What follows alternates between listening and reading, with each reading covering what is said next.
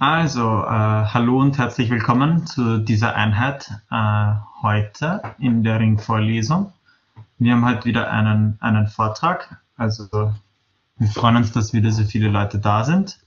Heute wird die Claudia von der Uni Klagenfurt uns etwas berichten. Und zwar sie ist vom Zentrum für Friedensforschung und Friedensbildung und wird sich selbst vorstellen und danach uns einen Vortrag über epistemische Gewalt äh, geben.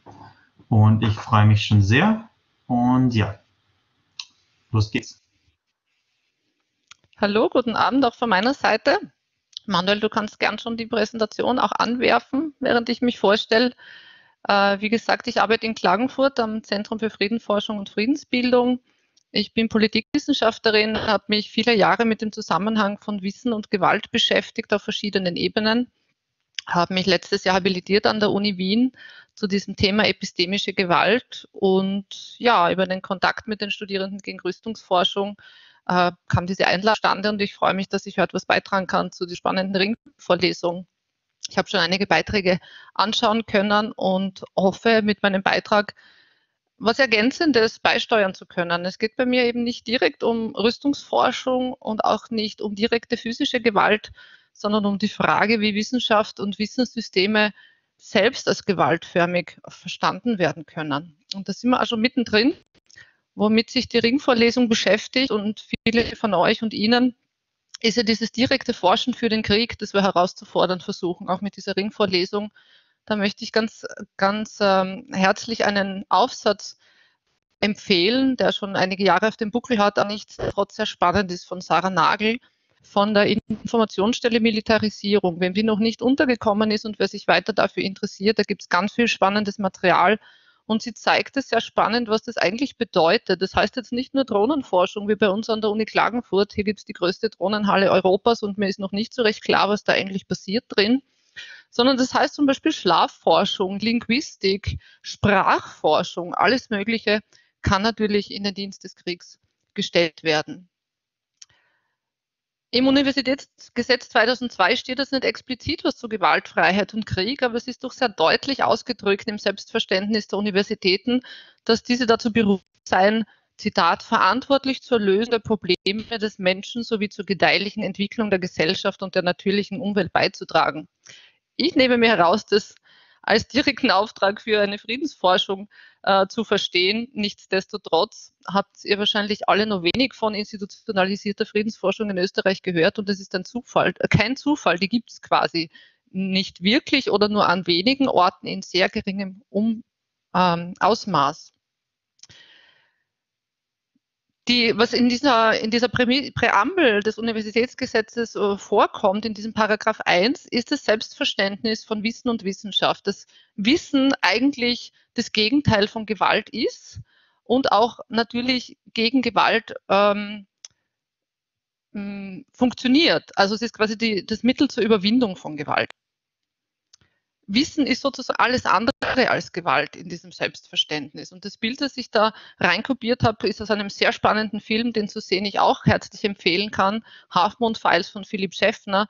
Was Sie hier sehen, sind Karteikarten, hunderte, tausende Karteikarten im sogenannten Lautarchiv der Humboldt-Universität, wo während des Ersten Weltkriegs die Stimmen von Kriegsgefangenen aufgenommen wurden äh, und aus dem ein großes wissenschaftliches Projekt, eine große wissenschaftliche Karriere oder mehrere Karrieren entstanden sind auf dem Rücken von Kriegsgefangenen aus aller Welt. Darauf kann ich jetzt nicht weiter eingehen, aber es soll schon mal andeuten, dass dieser Zusammenhang von Wissen und Gewalt nicht so eindeutig ist, wenn wir uns mit dem Begriff epistemische Gewalt äh, beschäftigen.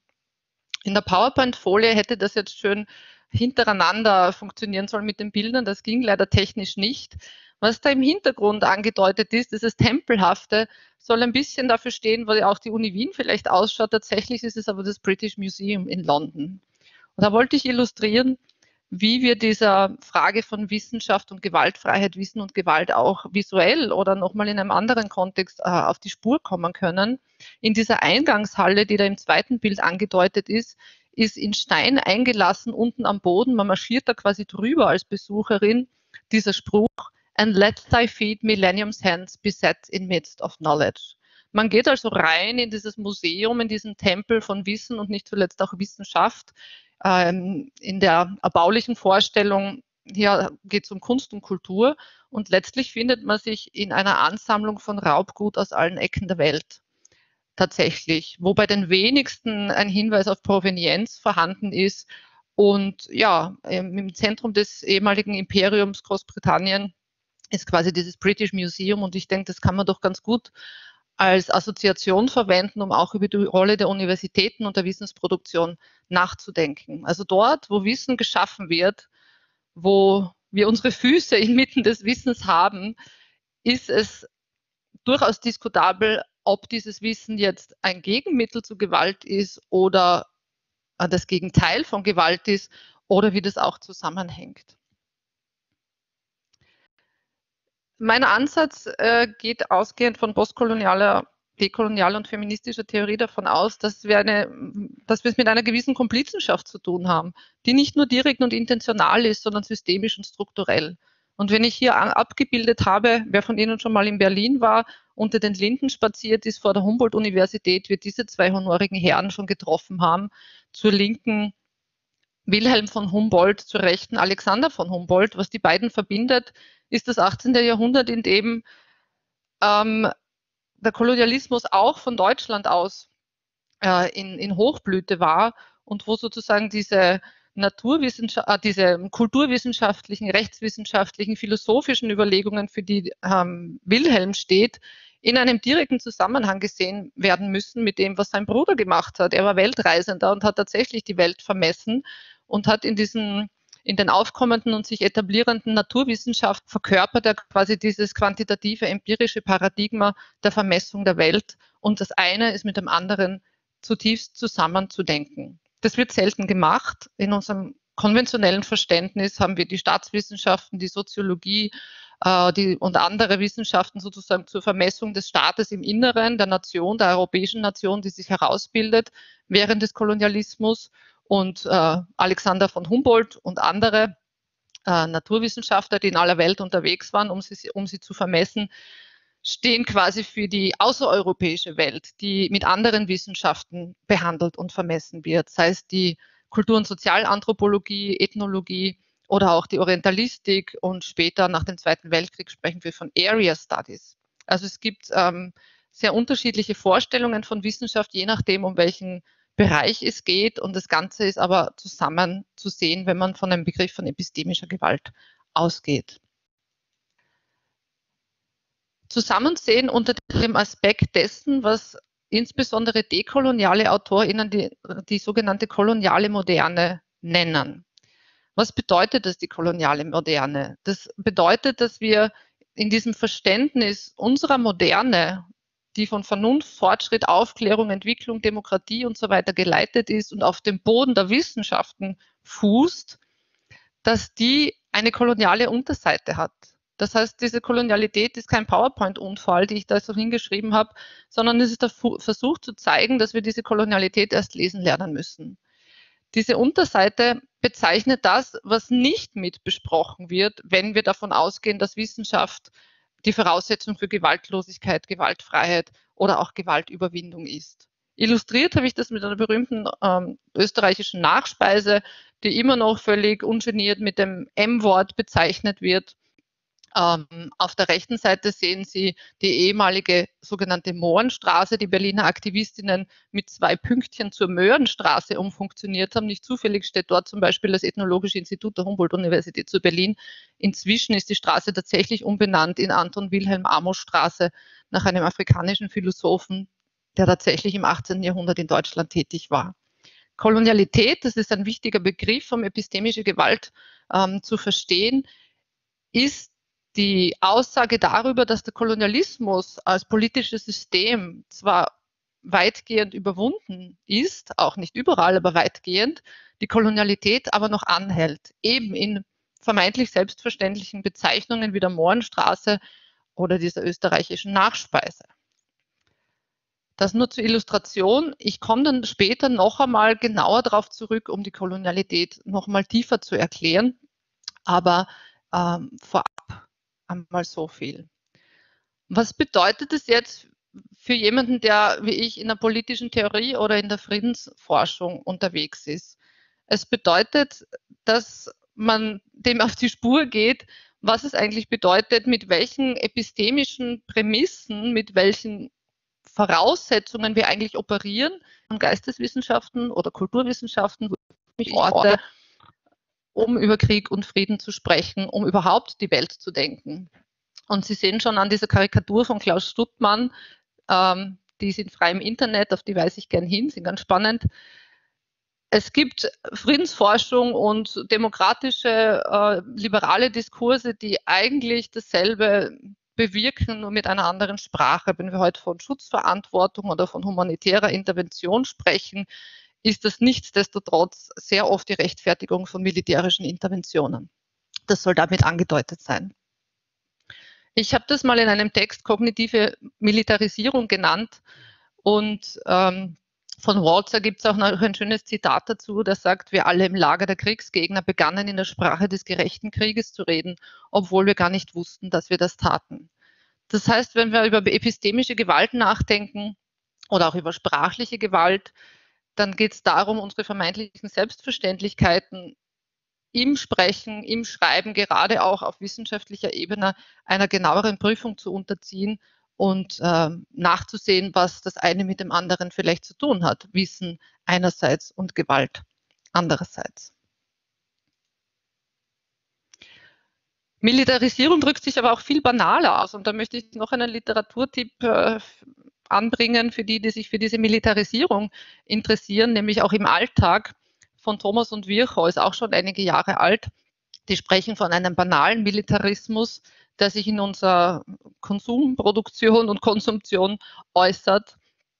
Und äh, letztlich möchte ich noch auf zwei Begriffe hinweisen. Der eine von Cynthia Enlow, einer feministischen Theoretikerin, die spricht von Militarisierung und Alison Howell von Martial Politics. Was bedeutet das jetzt? Cynthia Enlow hat sich mal gefragt, die, den Bild war leider nicht zu finden, weil das war schon in den 80er Jahren, glaube ich, und da gab es ähm, diese Bilder im Internet dazu noch nicht. Sie hat sich gefragt im Supermarkt, wieso kann es sein, dass eine simple Tomatensuppe Kanonen und Panzernudeln hat? Also sie hat sozusagen in, in den Nahrungsmitteln diese martialischen Nudelformen gefunden und ist da der Militarisierung des Alltags auf die Spur gegangen. Alison Howell würde sagen, ja gut, wir können uns über die Nudel in Panzerform ärgern, aber eigentlich müssen wir fragen, warum gibt es überhaupt Dosensuppen? Die Dosensuppe oder die Dose für, für Nahrung war eine Möglichkeit, Soldaten im Feld in der Ferne zu versorgen. Also die ganz banale ähm, Nahrungsmitteldose hat einen militärischen Hintergrund, genauso wie die Hausnummern, was einige von Ihnen vielleicht wissen. Hausnummern sind auch nicht einfach nur unschuldige Hausnummern, sondern wurden eingeführt in Europa, äh, um die Konskription zu erleichtern, das heißt, um junge Männer ihrem Militärdienst zuzuführen. Und letztlich spricht Alison Howell vor allem auch über drei Institutionen, darunter auch die Universität und das und Militär und die, und die Polizei natürlich. Äh, Sie haben da ein Beispiel für eine von vielfältigen Wappen der, einer US-amerikanischen Polizeieinheit. Und wenn Sie genau hinschauen, sehen Sie in, der Mitte auch die Abbildung eines sogenannten Indianers. Ähm, und sie sagt eben, in unserer Gesellschaft ist das Martialische, das Kriegerische so tief eingeschrieben. Also wir müssen gar nicht erst von Militarisierung von irgendetwas sprechen, das vorher vermeintlich neutral gewesen wäre, sondern eigentlich ist den Dingen die Militarisierung schon eingeschrieben und dem müssen wir auf die Spur kommen.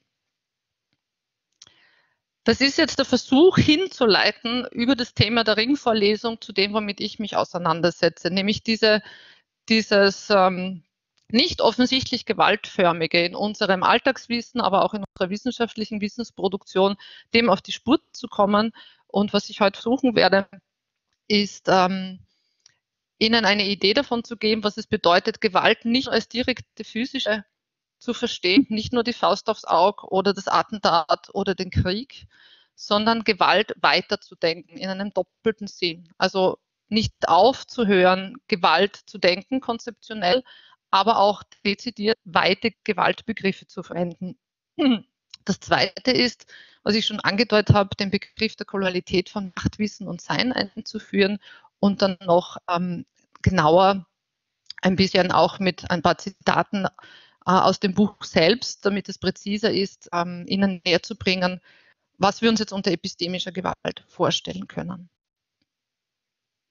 Gewalt im Verständnis, in meinem Verständnis und in dem vielen anderen kritischen Wissenschaftlerinnen ist eben nicht nur das Ereignis, sondern auch Prozess und Verhältnis. Und es gibt zahlreiche weite Gewaltbegriffe, die auch in der Debatte um Militarisierung natürlich nicht so vorrangig sind, ähm, wo ich aber denke, dass die sehr viel Sinn machen, sie mitzudenken. Strukturelle Gewalt von Johann Galtung ist einer der bekanntesten. Symbolische Gewalt von Pierre Bourdieu ist ein ganz wichtiger, um das, die Herrschaftsförmigkeit des Wissenschaftssystems Systems auch zu verstehen. Normative Gewalt ist von Judith Butler, aber es gibt noch viele andere Formen von Gewalt, unter denen die epistemische Gewalt in den Sozialwissenschaften, wo ich hauptsächlich herkomme, noch nicht so bekannt und nicht so selbstverständlich ist. Ähm, einerseits, weil die Debatten vor allem im englischsprachigen Raum begonnen haben, darüber, was epistemische Gewalt ist. Deswegen ist es im sprachigen Raum noch nicht so verbreitet. Andererseits sind natürlich die Sozialwissenschaften, wie ich das vorher kurz mit Wilhelm von Humboldt angedeutet, angedeutet habe, ähm, dienen sie zentral auch zur Staatsbildung und zur Nationsbildung und zum Selbstverständnis ähm, dominanter Gesellschaften. Das heißt, es ist auch sehr unwahrscheinlich, dass epidemische Gewalt schon im Kanon ist, weil die Wissenschaften eigentlich grundsätzlich herrschaftsunterstützend, herrschaftsförmig auch entstanden sind. Und das ist der Hinweis post- und dekolonialer Theorie zu sagen, das eine ist nicht getrennt vom anderen, sondern wir müssen die Entstehung der Wissenschaften und dieses modernen Paradigmas verbunden sehen mit 500 Jahren Kolonialismus. Nicht nur mit 200 Jahren, nicht nur zurückschauen bis zur französischen Aufklärung, sondern noch weiter zurückzuschauen bis 1492 eigentlich, als die Europäer begannen, sich die Amerikas äh, zu unterwerfen. Das komme ich später noch. Aus diesem Diskussionszusammenhang kommt der Begriff epistemische Gewalt. Eine ganz wichtige Autorin für die Debatte und die häufige Referenz für epistemische Gewalt ist Gayatri Spivak, eine US-amerikanisch-indische Literaturwissenschaftlerin, deren Zitat ich Ihnen ja aufgeschrieben habe, weil es eines ist, auf das sich viele, viele beziehen. Sie diskutiert äh, das Problem am Beispiel der sogenannten Witwenverbrennung in Indien, um die sich lokale patriarchale Eliten und koloniale patriarchale Eliten gestritten haben. Wir haben das bis heute in Debatten über sogenannte Ehrenmorde, Zwangsbeschneidung und anderes eigentlich immer noch die, die, dieselbe Dynamik. Ähm, und sie, sie diskutiert darüber, wo eigentlich die Gewaltförmigkeit auch zu suchen ist. Nicht nur in dieser Aktion, die natürlich verurteilen kann und muss, sondern eigentlich tiefer liegt in der kolonialen Konstellation, in der überhaupt äh, das stattfindet und wo die Debatten darüber stattfinden. Das klarste Beispiel für epistemische Gewalt, sagt sie, ist das aus der Distanz orchestrierte, weitläufige und heterogene Projekt, das koloniale Subjekt als anderes zu konstituieren. Es bedeutet auch die asymmetrische Auslöschung der Spuren dieses anderen in seiner prekären Subjektivität und Unterworfenheit. Es geht sozusagen um das Andersmachen von Personen und um die Auslöschung letztlich von Wissen und Wissen. Sie knüpft an an Foucault, der ja bei epistemischer Gewalt, der hat den Begriff erstmals so verwendet, sich auf Europa ähm, fokussiert und Institutionen wie das Krankenhaus, die Schule, die Kirche untersucht und er sagt, man muss das, was Foucault gemacht hat, eigentlich zusammendenken mit dem, was in den Kolonien passiert ist. Also wir können epistemische Gewalt nicht verstehen, wenn wir nur auf Europa schauen, sondern wir müssen das verstehen, wie sie sagt, dislozierte, als dislozierte und uneingestandene Teile einer immensen zweiarmigen Maschine. Das heißt, das, was an Europa an wissenschaftlicher ähm, Verfestigung und ähm, an Strukturen, an Selbstverständlichkeiten herausgebildet wurde, darf nicht abgetrennt werden von dem, was politisch gleichzeitig in den Kolonien passiert ist. Es geht also immer um diese Herstellung des anderen und auch die Herstellung des Selbst.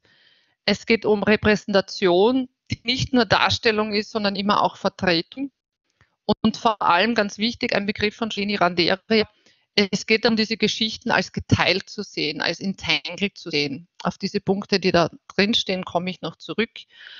Es geht um Sprechen, Schweigen, Hören, gehört und auch verstanden werden in diesem europäisch-kolonialen Kontext. Und dieses individuelle Setting, vermeintlich individuelle Setting, ist immer auch eines, das historisch zu verstehen ist, ökonomisch und in einem sozio- und geopolitischen Kontext. Das heißt, wenn wir eine konkrete rassistische Äußerung haben, ist das nicht nur ein impersonelles Fehlverhalten, sondern ist auf diese Kolonie zurückzuführen, die ein Teil der politischen Realität des Kolonialismus ist. Eine zweite Autorin habe ich noch mit reingebracht, Vandana Shiva, weil sie das nochmal anders rahmt oder zusätzlich rahmt und sagt, dass die, sie spricht von Reduktionismus in Bezug auf epistemische Gewalt und sagt, diese Weltanschauung, die reduktionistische Weltanschauung, die industrielle Revolution und das kapitalistische Wirtschaftssystem, die philosophischen, technologischen und wirtschaftlichen Teile desselben Prozesses.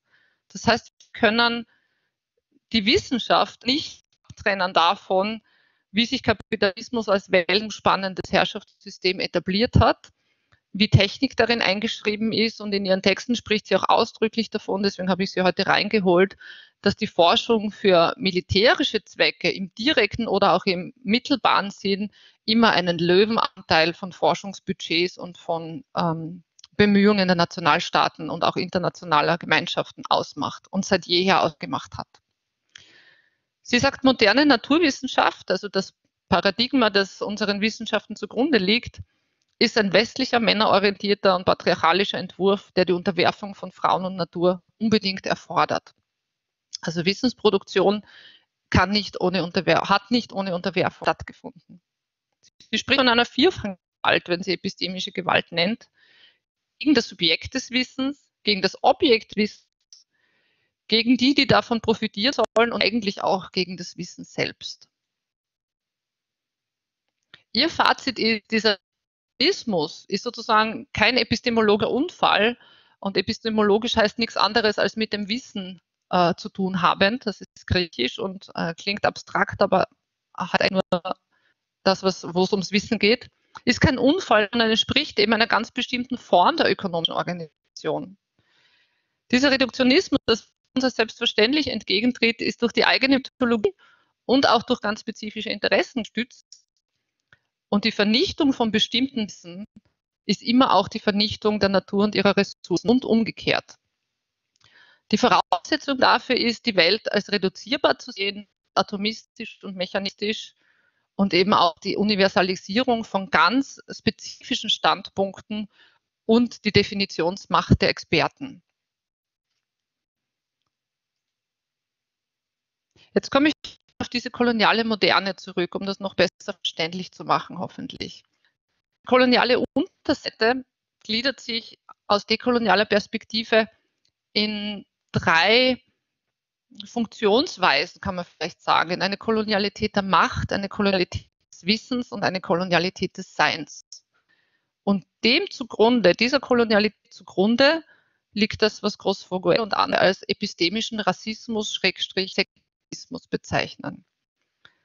Das heißt, ähm, das Argument ist, dass die Welt, so wie sie uns heute entgegentritt, mit der Aufteilung ihrer Ressourcen und auch der, also der natürlichen menschlichen Ressourcen, ähm, basiert auf Prozessen, die epistemischen Rassismus und Sexismus selbstverständlich gemacht haben und haben eine, eine Kluft über die Welt gezogen, eine epistemische Kluft, aber auch eine soziale, eine politische, eine ökonomische Kluft. Und drei Dimensionen der Kolonialität sind einerseits auf der sozialen Ebene, auf der epistemischen Ebene, die mit dem Wissen zu tun hat, auch auf der Ebene unseres Menschseins selbst verortet. Und das versuche ich jetzt ein bisschen zu erklären, um den Begriff der epistemischen Gewalt einzubetten, dieses für mich wichtige Konzept der kolonialen Moderne oder der sogenannten Kolonialität. Die drei sind immer zusammenzudenken und das, worüber ich spreche, ist ähm, dunkel jeweils eingefärbt. Die Kolonialität der Macht bedeutet, dass sich Kapitalismus und sein ausbeuterisches System als einziges System durchgesetzt hat weltweit. Dass sich der moderne europäische Nationalstaat als einzige politische Autorität durchgesetzt hat und dass die zentrische Perspektive sich als einzige legitime Wissensweise durchgesetzt hat. Gleich verhält sich, das haben später andere ergänzt, mit einer bestimmten Vorstellung von Sexualität und Reproduktion, mit einer bestimmten Vorstellung darüber, wie wir zu Menschen, zu Subjekten werden und wie wir erkennen können und auch mit einer bestimmten, mit einem bestimmten Umgang mit Natur und Ressourcen. Und wie schon vorher erwähnt, ist dieser Rassismus, Sexismus der zentrale Modus, um diese Selbstverständlichkeiten zu etablieren und zu rechtfertigen. Die Kolonialität des Wissens besteht darin, dass beständig Trennungen und Teilungen der Welt unternommen werden, also Ganzheitlichkeit ähm, nicht mehr opportun erscheint, sondern getrennt, vermessen, geteilt wird und auch immer hierarchisiert wird zwischen diesen Teilungen. Diese Transformation von Wissen, die stattgefunden hat in diesen 500 Jahren Kolonialismus, geht Hand in Hand mit kolonialer, imperialer politischer Praxis. Also das ist nichts, was losgelöst von Politik passiert, sondern das müssen wir zusammendenken. Eine ganz zentrale Operation da drin ist, äh, Körper und Materie von Geist und Vernunft zu trennen in der sogenannten abendländischen Philosophie, die jetzt als universalistische verstanden, als universelle verstanden wird. Und auch die Trennung des Göttlichen von Mensch und Natur. Es gibt dann noch zwei Fachbegriffe, die das beschreiben. Also man ist von einer Theopolitik, von einer Erklärung durch Göttlichkeit und Religiosität hingekommen zu einer Egopolitik, also zu einer Erklärung, die auf dem Individuum basiert, wo aber dennoch dieser vermeint, diese vermeintliche Objektivität ganz stark erhalten geblieben ist. Und als wichtigstes für epistemische Gewalt ist eigentlich zu nennen diese Entkoppelung von Materialität und Körperlichkeit und Sozialität einerseits und von Erkenntnisfähigkeit andererseits. Das heißt, ganz bestimmte Subjekte werden als fähig äh, verstanden, überhaupt Wissen haben und produzieren und intelligibel, also verständlich ausdrücken zu können und andere nicht. Und das ist massiv rassifiziert und sexualisiert, diese Vorstellung darüber, wo das wahre, richtige und legitime Wissen Dazu gehört ein beständiger Dualismus von Objekt und Subjekt. Und das, was Donna Haraway den God-Trick nennt, also die Idee, dass man sich als Wissenschaftlerin objektiv über die Dinge stellen kann, sich entkörpert von den eigenen sozialen, ähm, politischen, historischen, sonstigen Bedingungen, von den Lebensbedingungen und quasi wie ein Geist äh, über dem Wasser schwebt, um dieses Wasser zu beschreiben. Das ist natürlich quasi Natur, die Vernaturwissenschaftlichung dessen, was vorher ähm, als göttliche Perspektive verstanden worden ist und hat sich aber als ähm, vermeintlicher Objektivismus äh, eingeschrieben in unser Wissenschaftsverständnis. Was dabei passiert, ist, dass die Wissenden und deren Interessen vor allem, und das ist, glaube ich, auch wichtig für eine Kritik an Rüstungsforschung, unsichtbar gemacht werden. Das heißt, die konkrete spezifische Verortung der Person, die forscht, steht nicht mehr zur Debatte, weil man ja eine Objektivität unterstellt. Und es passiert auch eine massive Fragmentierung und Klassifizierung ähm, dessen, was von außen beobachtet wird. Also es ist immer dieses ähm, teilend herrschende Beobachten von etwas, was vermeintlich mit mir als Beobachterin überhaupt nichts zu tun hat. Die Fachbegriffe sind ja wieder Geo- und Körperpolitik des Wissens, um zu beschreiben, Wissen ist immer auch körperlich an den Menschen gebunden und an das soziale Umfeld gebunden, aus dem dieses Wissen hervorgeht und es ist immer auch in einen geopolitischen Kontext eingebunden. Das heißt, die ähm, Forschungspositionen, die universalisiert werden und als vermeintlich allgemein gültige gelten, sind tatsächlich ganz spezifische. Und wenn wir historisch zurückschauen in der Wissenschaftsgeschichte, sind das weiße, männliche, bürgerliche, heteronormative, besitzende Interessen.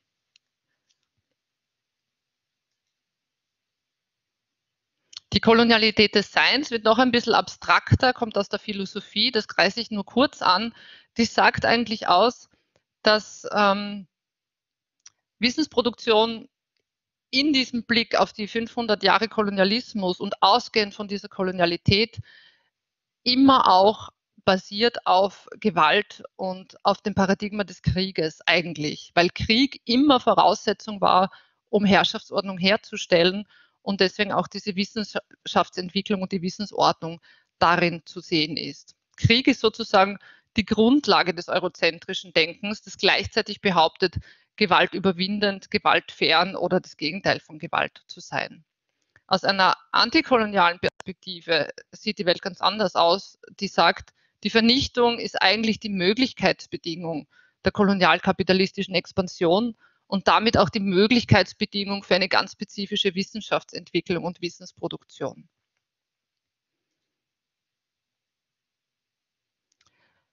Die zwei Herren da am Rande sind keine geringeren als oben René Descartes und unten Christopher Columbus. Ähm, das ist jetzt leider auch, weil nicht PowerPoint nicht schön in der Reihenfolge, aber ich versuche es trotzdem zu erklären. Also oben steht das Paradigma der Aufklärung in den Worten von Descartes, ich denke, also bin ich. Aus einer dekolonialen Perspektive setzt es voraus die Annahme, wenn ich denke und also bin, dass andere nicht denken, also keine politischen Subjekte sind und sein können.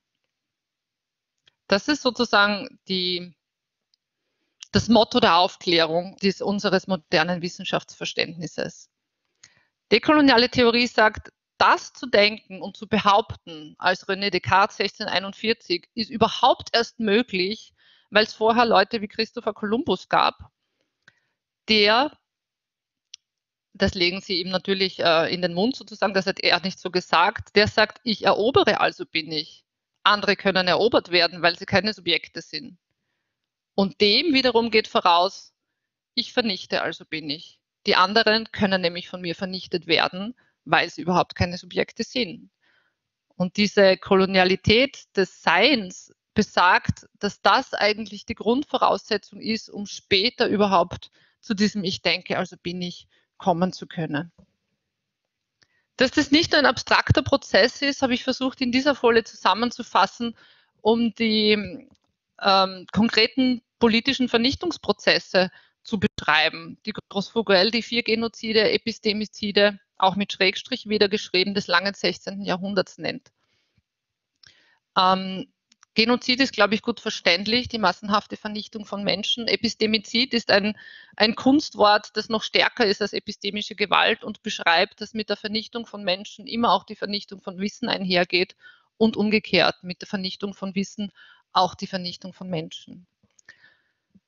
Dekoloniale Theorie besagt eben, dass die Grundlagen für unser heutiges Wissenschaftssystem und unsere Vorstellung der Moderne in diesem langen 16. Jahrhundert gelegt worden sind als auf der Iberischen Halbinsel zuerst Juden und Jüdinnen und Muslime und Musliminnen vertrieben und unterworfen oder zur Konversion gezwungen wurden, über die Argumentation einer sogenannten Blutreinheit, das ist der Vorläufer des heutigen Race-Begriffs, Rasa, der wurde noch theologisch-religiös argumentiert.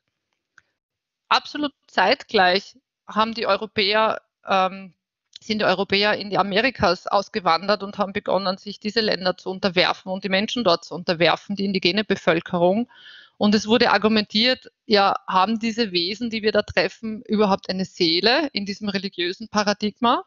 Wenn ja, dann können wir sie konvertieren, zwangskonvertieren. Wenn nein, können wir sie eigentlich auch umbringen. Das war eine ganz wichtige Debatte, die sich über 50 Jahre lang hingezogen hat. Der Begriff, also der Wandel von Rasa zu Race, zeigt an, dass wir von diesem theologischen Begründungszusammenhang zu einem naturwissenschaftlichen Begründungszusammenhang kommen.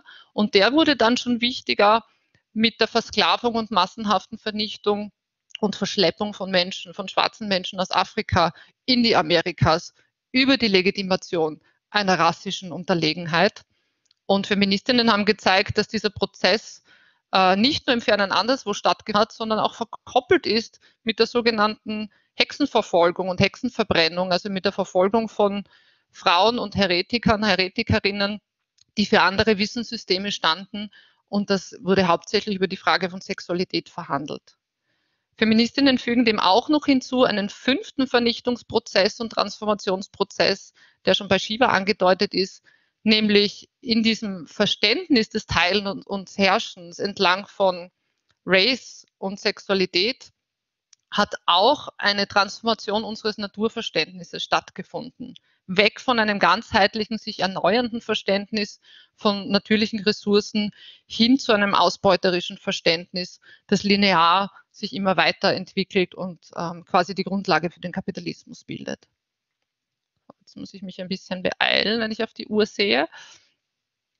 Das ist auch noch einfacher zu beschreiben, vielleicht besser verständlich in dem Zitat von Gross-Fuel.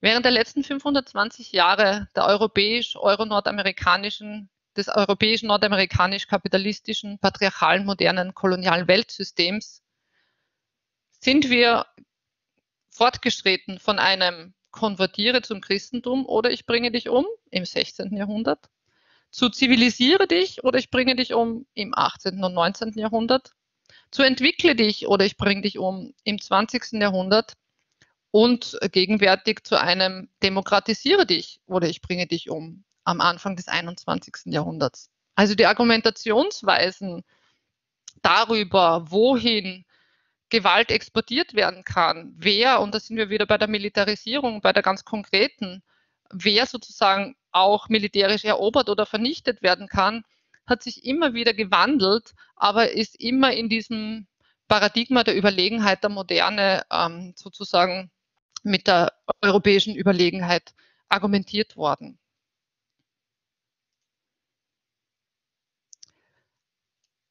Was ist jetzt also epistemische Gewalt in diesem Zusammenhang oder wie können wir das noch besser verstehen? Und ähm, ich habe in meinem Buch, wo ich mich einige Jahre mit weiten Gewaltbegriffen und vor allem der epistemischen Gewalt beschäftigt habe, versucht, ein Konzept epistemischer Gewalt am Ende zu entwickeln, wo die Mikroebene, also die unmittelbare Interaktion, die Mesoebene äh, und auch die Makroebene, sozialwissenschaftlich gesprochen, miteinander verbunden werden und habe das gekoppelt mit den vorher eingeführten ähm, Konzepten der Kolonialität des Seins, der Kolonialität des Wissens und der Kolonialität der Macht. Und um hier ein bisschen präziser zu sein und vielleicht besser verständlich, möchte ich einen kurzen Abschnitt vorlesen, um Ihnen nochmal näher zu bringen, wie wir epistemische Gewalt jetzt verstehen können. Vom Konzept der kolonialen Moderne aus betrachtet ist der Begriff epistemische Gewalt alles andere als abstrakt und seine Bestandteile, Wissen einerseits und Gewalt andererseits stellen keinen Widerspruch dar. Die Dimension des Epistemischen ist nicht eine unter vielen, sondern rückt in den Fokus der Aufmerksamkeit. Wissenschaft nicht nur als Mittel für anzustrebende Lösungen zu verstehen, sondern als Bestandteil der jeweils zu analysierenden Probleme, öffnet den Blick hin zu einer Gewaltanalyse, die angesichts der anhaltenden kolonialen Moderne vor allem Herrschaftskritik sein und nicht der Aufrechterhaltung dieser Herrschaft dienen will. Ein darauf basierendes Konzept epistemischer Gewalt ermöglicht, eine über den gebräuchlichen, methodologischen und epistemologischen Nationalismus hinausgehende Makroebene zu adressieren, ohne die jegliche Gewaltanalyse im internationalen Kontext zu kurz greift. Indem das Konzept epistemische Gewalt Herrschaftsverhältnisse über die Dimension des Wissens und in der Dimension des Wissens fokussiert, fordert es jene fragwürdig gewordene, jenes fragwürdig gewordene Narrativ von Fortschritt, Entwicklung und Gewaltfreiheit der Moderne substanziell heraus, mit dem sich zwar der Exzess bestimmter Formen politischer Gewalt verurteilen, das zugleich jedoch die epistemischen Grundlagen der gewaltförmigen kolonialen Moderne unangetastet lässt. Die Analyse und Theoretisierung epistemischer Gewalt stellt das von seiner kolonialen Unterseite bereinigte Konzept der Moderne in Frage. Und es macht deutlich, dass wir auch heute noch in der kolonialen Moderne leben. Epistemische Gewalt bezeichnet für mich jenen Beitrag zu gewaltförmigen gesellschaftlichen Verhältnissen, die im Wissen selbst, in seiner Genese, Ausformung, Organisation und Wirkmächtigkeit angelegt sind. Damit meine ich nicht jegliche sich auf der Ebene des Wissens zeigende Erscheinungsform, die in einen Zusammenhang mit direkten Formen von Gewalt gestellt werden können. Epistemische Gewalt ist Möglichkeitsbedingung, Bestandteil und Produkt der kolonialen Moderne. Diese Moderne ist keine genuin gewaltfreie, weil fortschrittliche, demokratische und wissensbasierte. Sie ist auf vielfältige Weise mit ihrer kolonialen Vergangenheit und der immer noch gegenwärtigen, von zahlreichen Formen von Gewalt geprägten Unterseite verbunden. Und ein letzter Abschnitt. Epistemische Gewalt ist nicht gleichmäßig über Strukturen, Institutionen, Akteurinnen und Diskurse verteilt. Sie bringt die Asymmetrien der kolonialen Moderne mit hervor und wird in ihnen wirksam. Deren zentrales Merkmal ist die Trennung von Materialität und Sozialität einerseits und Erkenntnisproduktionsfähigkeit andererseits. Die Errichtung eines epistemischen Abgrundes, entlang dessen Ungleichheits und Verhältnisse organisiert, gerechtfertigt und naturalisiert werden. Epistemische Gewalt ist ihrer Ausbreitung und Allgegenwart zum Trotz nicht alles und jedes. Sie hat eine spezifische Herkunft, Europa, eine spezifische Geschichte, Kolonialismus und Kapitalismus, spezifische Funktionsweisen, Rassismus, Sexismus als Grundlage von globaler Arbeits- und Ressourcenteilung und sie bringt spezifische Subjekte hervor, die an diesen Prozessen in unterschiedlichen Positionen und Wirkungsgraden beteiligt sind. Das heißt natürlich, dass auch wir selbst daran beteiligt sind, äh, selbst wenn wir das nicht unbedingt möchten. Rolando Vasquez spricht vom sogenannten epistemischen Territorium der Moderne. Das heißt, die Welt ist, wie sie ist und es gibt sozusagen kein unschuldiges Jenseits, von dem aus man radikal anders denken könnte. Aber natürlich gibt es ähm, subversive, marginalisierte, gegenhegemoniale Wissensproduktion, die zugleich auch in dieser Moderne verortet ist. Und ich habe das illustriert mit diesem T-Shirt, weil das ist auch ganz passend, nicht weit vom US-amerikanischen Thanksgiving entfernt. Ähm, was man oft nicht mehr weiß, ist, wo das Thanksgiving eigentlich herkommt. Das kam daher, dass europäische Siedler in den Amerikas ziemlich herausgefordert waren, den ersten Winter zu überleben und die indigene Bevölkerung sie versorgt hat mit Lebensmitteln und allem Notwendigen, um überhaupt dort leben und überleben zu können. Daraus ist das Thanksgiving entstanden. Heute ist Thanksgiving quasi ein Nationalfeiertag der US-amerikanischen Nation, die Great Again werden will. Oder auch, ähm, ja, man wird sehen, wie sich das weiterentwickelt, wie great sie noch weiter wird die allerdings völlig abgetrennt zu sein scheint von dieser indigenen Geschichte und von dieser Verbundenheit mit jener Bevölkerung, die die europäischen Siedler massiv ausgerottet und unterworfen haben. Das heißt, indigene Aktivisten heute sagen, Thanksgiving, nein danke, das ist nicht unser Nationalfeiertag, da gibt es nichts zu danken und auch nichts zu geben.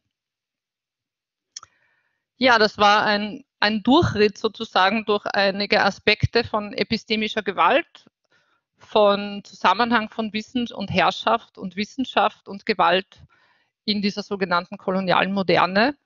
Und wissend, dass das für viele sehr neu gewesen sein kann oder auch sehr abstrakt gewesen sein kann, möchten wir vorschlagen, das wird der Manuel vielleicht noch ähm, ansagen, dass sie sich in Kleingruppen treffen und einmal überlegen, woran kann ich da anknüpfen mit dem, wo ich stehe, wo ich mich damit, womit ich mich beschäftige?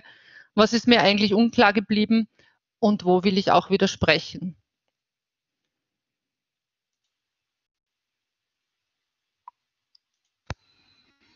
Ja, genau. Und zwar würden wir jetzt einteilen in äh, Gruppen von jeweils vier Sitzungsteilnehmerinnen. Und wir würden uns wünschen, ihr kriegt 10 Minuten Zeit. Das heißt, um 19.28 Uhr, 29 äh, werden die Kleingruppen beendet. Und gleichzeitig, und genau, wir würden dich bitten, einfach diese Fragen da gemeinsam zu besprechen. Ich bin gerade am Erstellen der Kleingruppen. Ja, ja, dann starten wir jetzt die Kleingruppen und um 19.28 Uhr versuche ich euch zurückzuholen äh, in den großen Raum. Passt.